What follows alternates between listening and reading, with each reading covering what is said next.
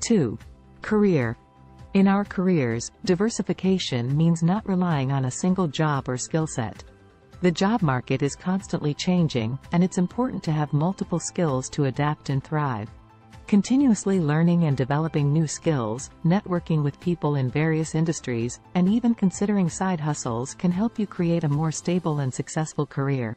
3. Investments. When it comes to finances, the principle is all about diversification. Investing all your money in a single stock or asset is risky, as it leaves you vulnerable to market fluctuations.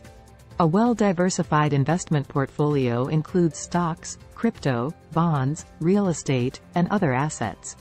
This strategy helps minimize risk, as the different investments are likely to respond differently to market changes, balancing each other out. So, there you have it.